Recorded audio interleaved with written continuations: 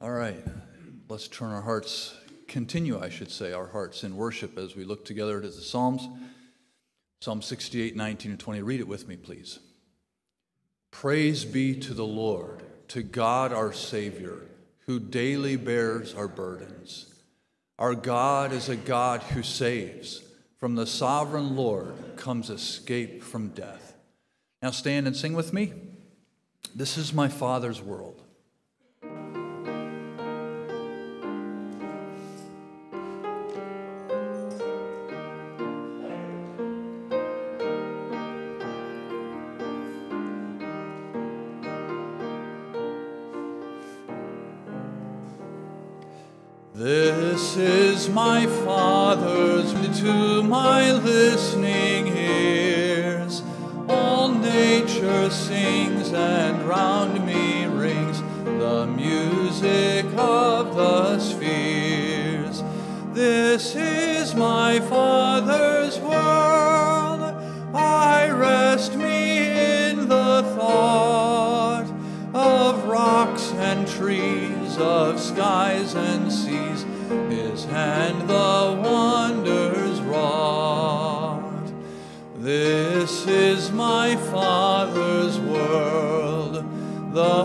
Birds their carols raise, the morning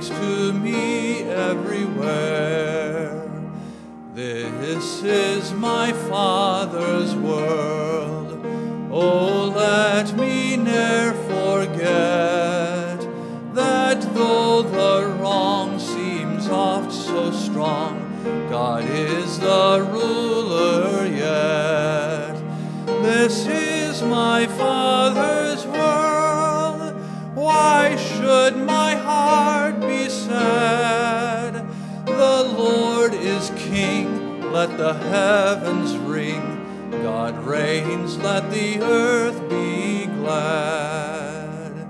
You can be seated.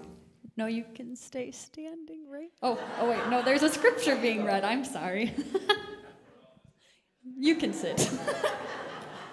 We're messed up today. Our scripture reading is from the book of Deuteronomy, chapter 6, verses 20 through 25. In the future, when your son asks you, What is the meaning of the stipulations, decrees, and laws the Lord our God has commanded you? Tell him, We were slaves of Pharaoh in Egypt, but the Lord brought us out of Egypt with a mighty hand. Before our eyes, the Lord sent miraculous signs and wonders, great and terrible, upon Egypt and Pharaoh and his whole household. But he brought us out from there to bring us in and give us the land that he promised on oath to our forefathers. The Lord commanded us to obey all that we might always prosper and be kept alive, as is the case today. And if we are careful to obey all this law before the Lord our God, as he has commanded us, that will be our righteousness. Can stand again. um, this morning, we are focusing on um, our God as Father, and in this passage, too, later that you'll hear from Kevin, fathers teaching their children to obey the Lord. And the last line that we just read was talking about how God brings us to righteousness, obeying his commands and decrees. And we can trust that our Father is good when he gives those commands and decrees to us. They're hard sometimes, but that comes through understanding him through his word. This morning we're going to sing Goodness of God.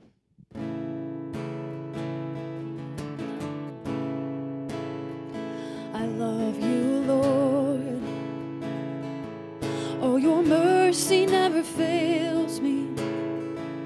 All my days I've been held in your hands. From the moment that I wake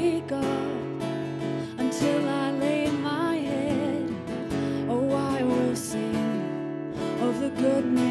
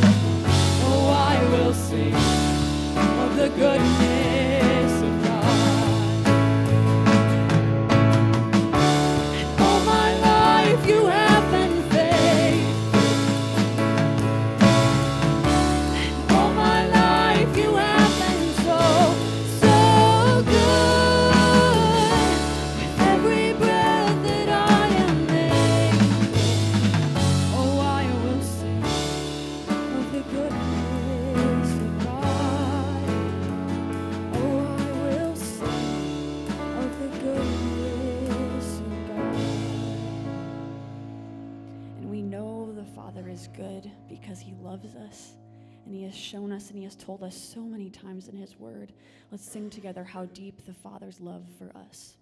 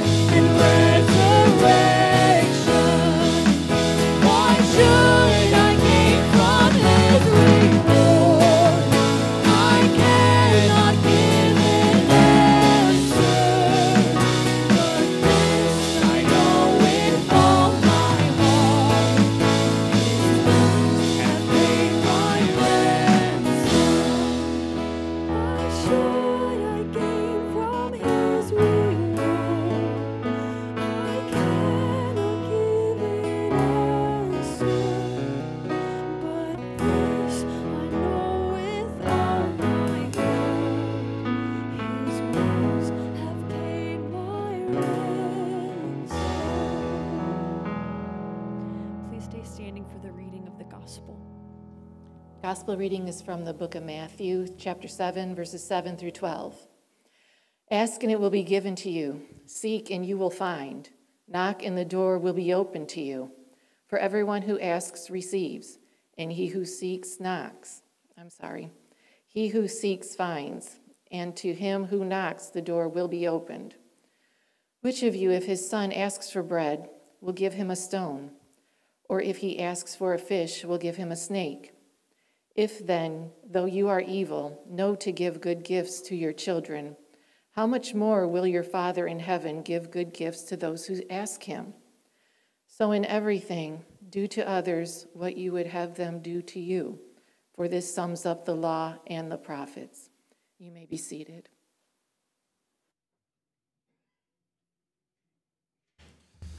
Now it's time to take the offering. So, if the men who are helping with that would come up. And as they're coming up, would you take one of the yellow pads? Actually, I don't know what color it is. One of the pads, yeah, yellow. And sign your name and pass it along. And if there's somebody in your row that you don't know, it's a great opportunity to sneak a glance and say hi to them after. All right, so let's pray. Lord, we offer you these gifts because you gave them to us in the first place. Lord, would you help us never to think of our money as our own or even our, our life as our own? Everything we are and have belongs to you, and Lord, we give back to you with thankful hearts for your grace and for your goodness. In Jesus' name, amen.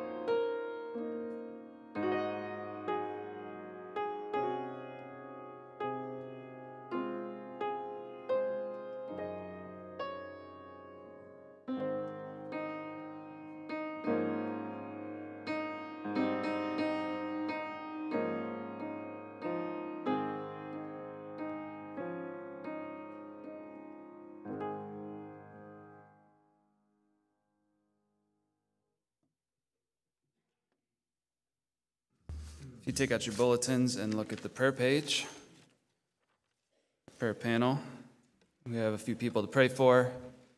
And would you take this home and pray for these things during the week? And I want you to notice the, the line that says the spiritual growth of the church. Those prayer requests always come from our Friday morning prayer group. So we go through a passage of scripture. Uh, we've been going through the book of James, and we pray according to what the scriptures say for our church and for ourselves. And these prayer requests come out of that.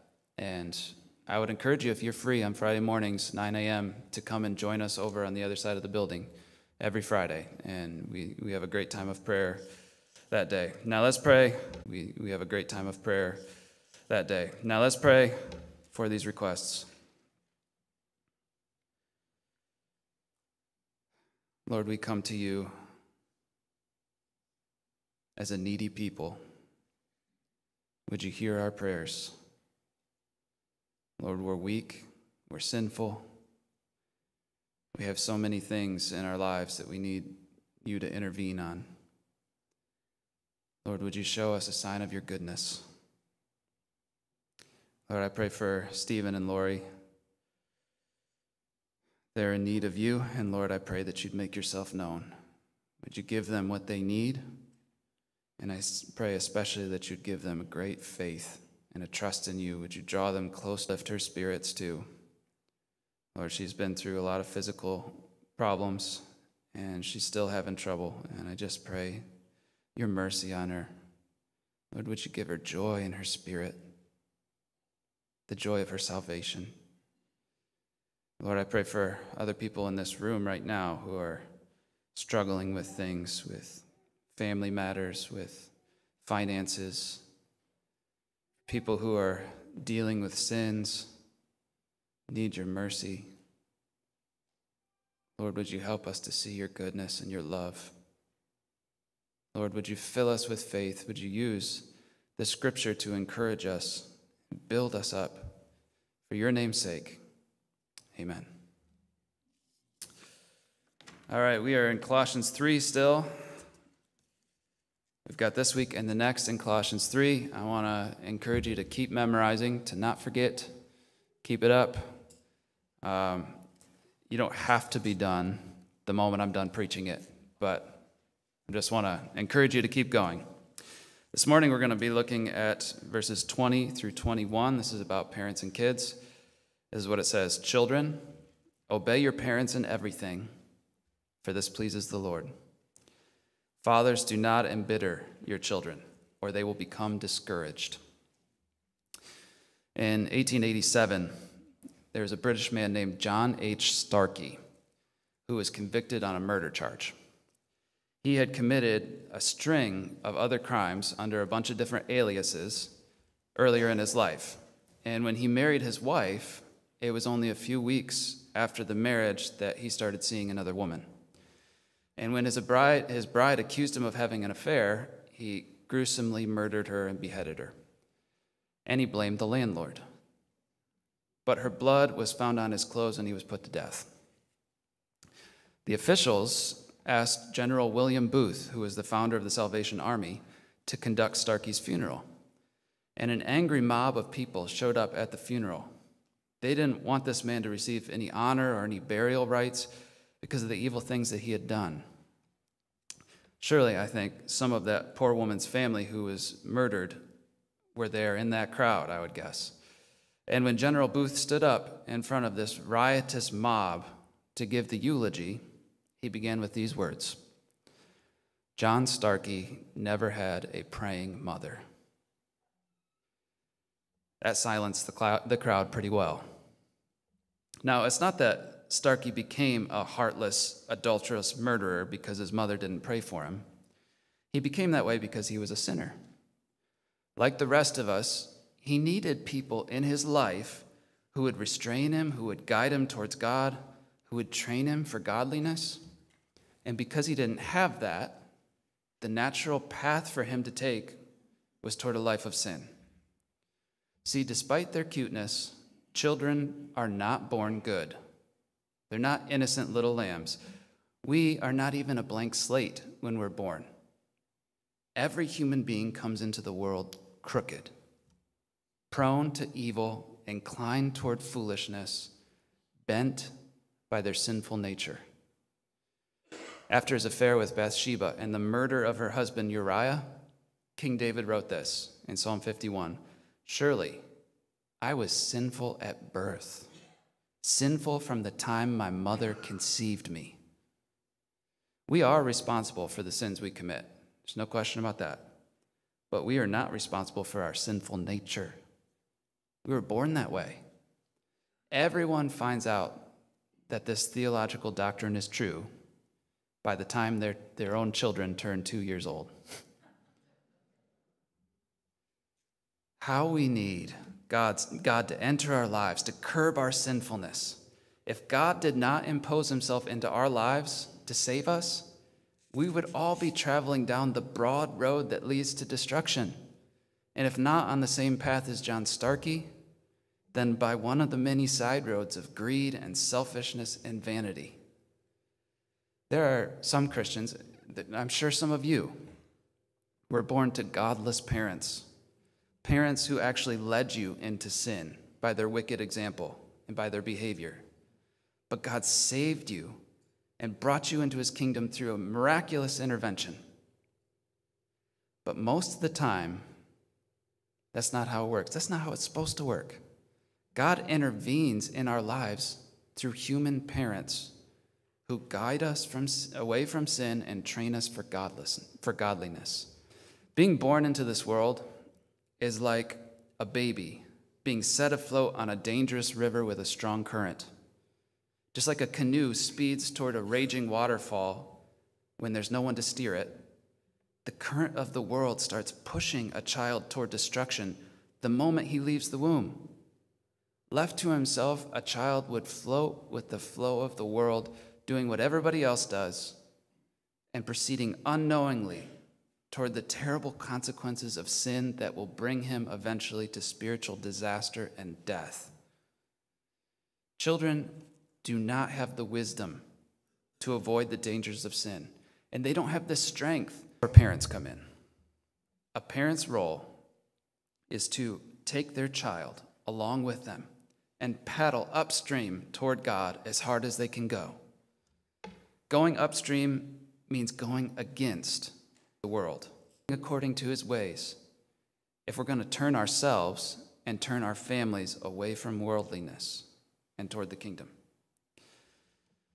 But the goal of parents and grandparents should not just be to keep their child from sin. Our goal is to bring them to God. Everyone's born with a sinful nature.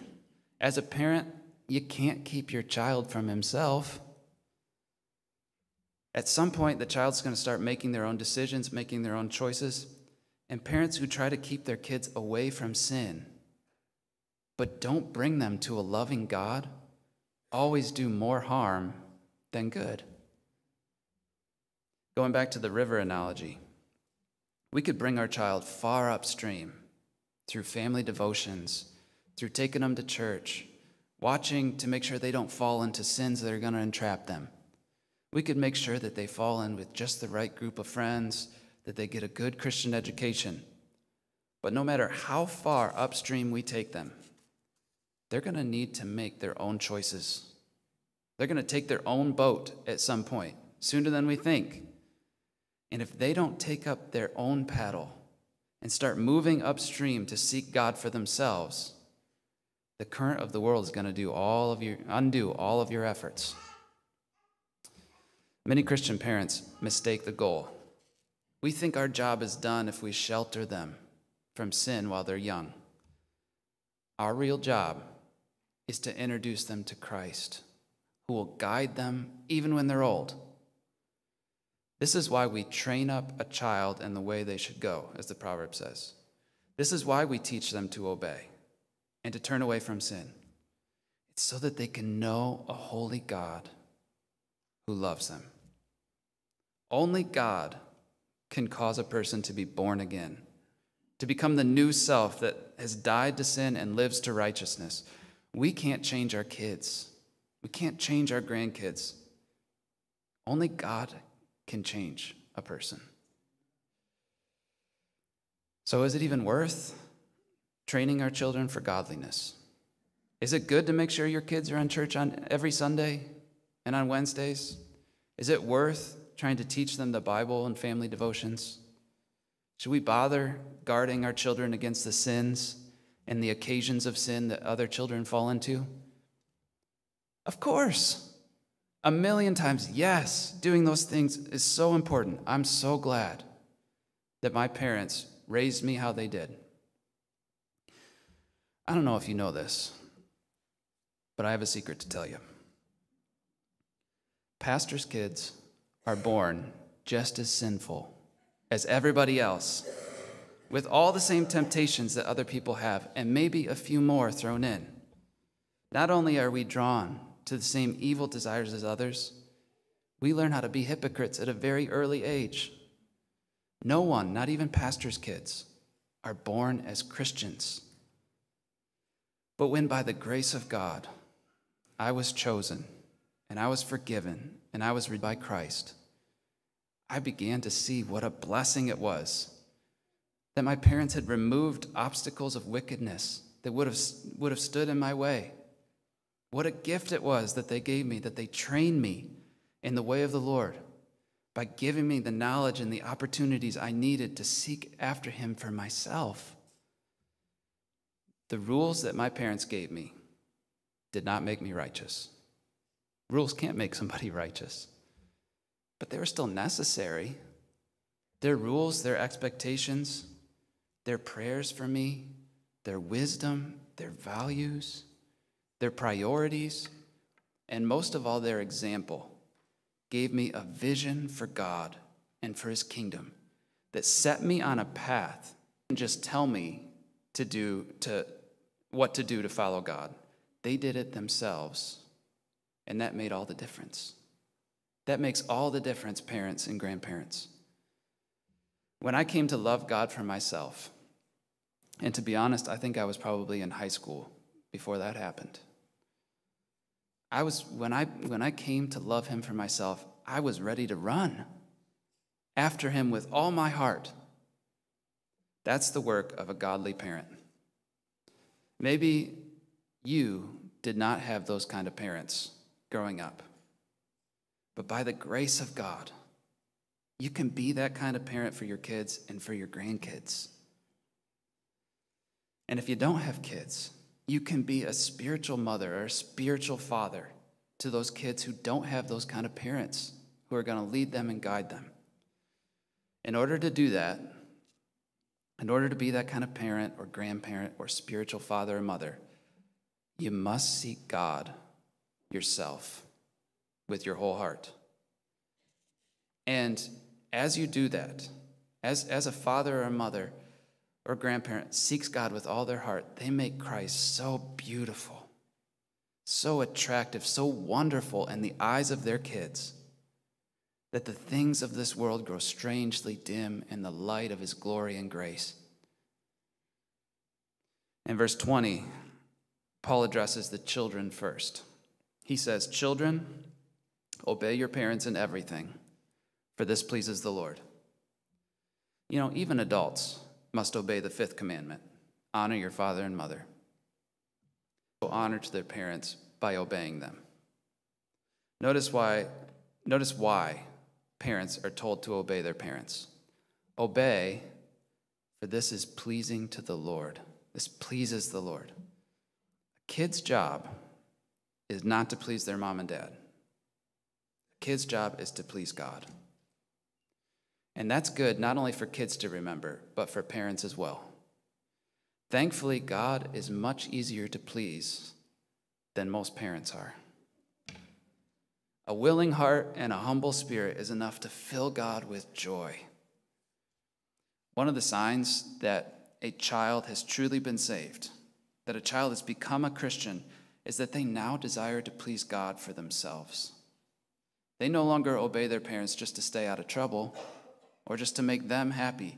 They obey because that's what pleases their God. But since children naturally want to please their parents, it's a natural thing. Children want to make their parents proud. We parents need to be extra careful that what pleases us are the same things that please God. Kids quickly pick up on what makes their parents proud and impressed. If a parent if what pleases us the most is a good report card or sports achievements or a pretty face, our kids are going to run after those things with all they've got. Kids need to know that we would be prouder and happier if they loved God and lived for Him than if they were famous athletes or successful businessmen or influential writers. Children need to learn to obey. Keyword is learn. It's a process, and we parents must be patient to teach and to train them. Remember, they're sinners from birth. Obeying is not natural. We cannot expect obedience if we don't show them how. Children are to obey their parents in everything, Paul says. This is not occasional obedience, but continual. This obedience should be from the heart, not for eye service. This obedience should come from love and respect, not from compliance, not from fear. That means that parents need to make themselves worthy of respect and love. Since children are given this command before they can even read it, parents should realize that it's our responsibility to see to it that our children obey us in everything. Remember that children are born both as children and as sinners. I've found that many times my impatience, my frustration with my kids is due not to their rebelliousness, but to the fact that I haven't carefully and lovingly taken their nature into account. I figure they should be acting like adults. well, the expectation must be that they obey us in everything, that should be the expectation. And discipline must be used when they don't. We always need to be gentle and patient with them as we possibly can. One of the things that we parents and grandparents must keep in mind is that while our children may have been born to us, they don't belong to us. They belong to God. He has loaned these kids to us to raise them for Him, for His service. In other words, we're raising God's kids, not our own. They must grow to become like Christ, not like mini me's. The reason why children must learn to obey us is so that they can learn to obey God. Kids aren't going to understand that at first. But when they learn to obey us in everything, they're going to have a much better time in obeying God in everything. That's why it's so important that they learn how to obey us, obey their parents. They do not need to obey for our sake, to make our lives more convenient or less stressful. We demand obedience to God's will, not to our own whims. We're not forcing our kids to do what we want them to do, but helping them and training them to do what God wants them to do. We're teaching them to obey a God who loves them, a God who's patient with them, a God who's quick to forgive them. And that means we need to love them and be patient with them and forgive them too. When we realize and accept these are God's kids, these are God's grandkids, not ours, our attitude towards them gonna, is going to change. Would we yell at the sons and daughters of God? Would we ignore them or let them fall into sin? I've noticed, just being honest, that I can sometimes be friendlier and gentler with other people's kids than I am with my own. And if I only realized that my kids belong to someone else, I would certainly change how I treat them. They belong to God. Built into the process of child rearing should be the idea that there is a God over this family. He's the God that both the children and the parents are to love and obey. Constant attention should be drawn to God in the home whether by reading the Bible together, family prayers, or drawing the dinner conversation to God, I found that children, little kids, are naturally curious about God. It's built right into them. And if we are interested in God ourselves, it's not going to take, take much effort at all for them to be interested in God too. Yeah, kids are prone to sin, but children are almost always incredibly open to God when they're small. If, if the parents set the tone that we worship Jesus in this household, we honor him, we do what he says, half the battle is already won. Of course, that takes constant reinforcement.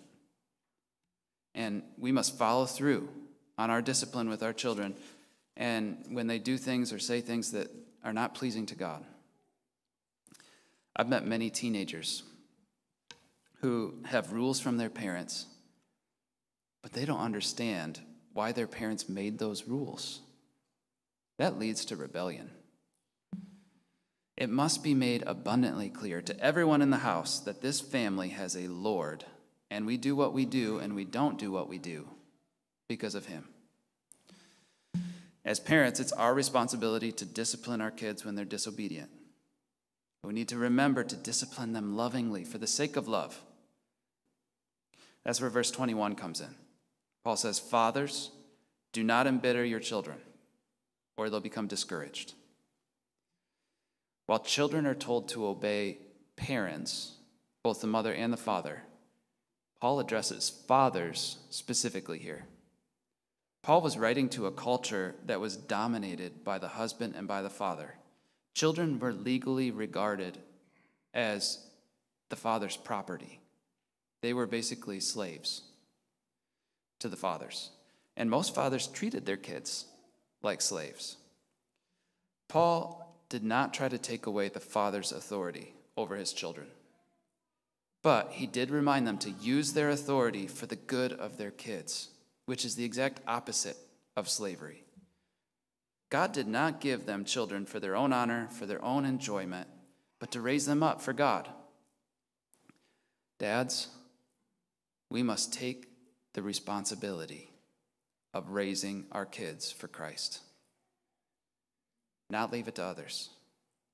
Our work as fathers trumps our hobbies, trumps our careers, even trumps our roles at church. We are to manage our families well so that through us, the loving, good, and holy God can rule our home. Now, it's true that we need to discipline our kids, and we need to ref- refrain from giving them things that they're going to want because we know it'd be bad for them. But we need to be careful that we discipline with self control and not make it too difficult for them to follow our instructions. I know from experience how hard that, how hard that is. But we can't expect our children to have self control if we don't have self control when we talk to them. Just because children need to obey us in everything doesn't give us the right to make unrealistic or unreasonable demands of our kids. If we're not careful, our children will become hardened, they'll become discouraged. This is what I think Paul means when he says, don't embitter your children. The word embitter is, is a, a Greek word that means to kind of stir up. We stir them up. We stir our kids up when we make harsh demands and strict punishments. And then we discourage them when we show them a lack of grace and patience when they fail. Some parents do a great job at teaching their kids the fear of the Lord, but they forget to preach the gospel to their own children. The child should be introduced to the gospel by their parents. First, by their example how they forgive their kids and have patience and mercy when they fail over and over again, which they will. And then by sharing with their kids that Jesus died on the cross to forgive their sins because he loves them. You can't nag, you can't beat sin out of a kid. Spank sin out of a kid. But by displaying the gospel in both example and in words, you can draw them closer to a loving God. We are all bent. We've all been broken by sin.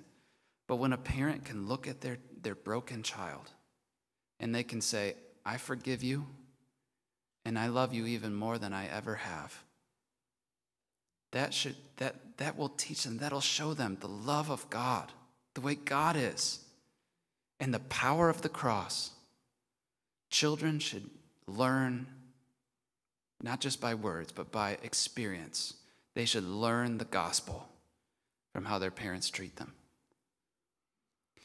i see the gospel in these two verses jesus is the lord we must be careful to obey him in everything that's a big part of the gospel but Jesus is also good. He's forgiving. He's ready to restore us the moment we turn from our sin. He sacrificed himself on the cross for us.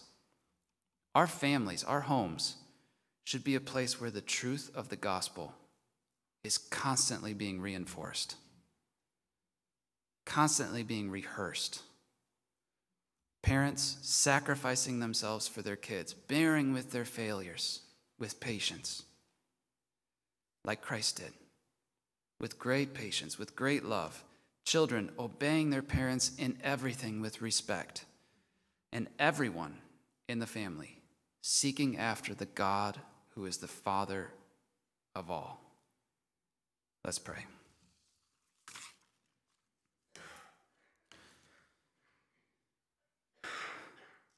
Heavenly Father, we thank you for your love for us, for giving us human parents, even the ones who didn't do a very good job.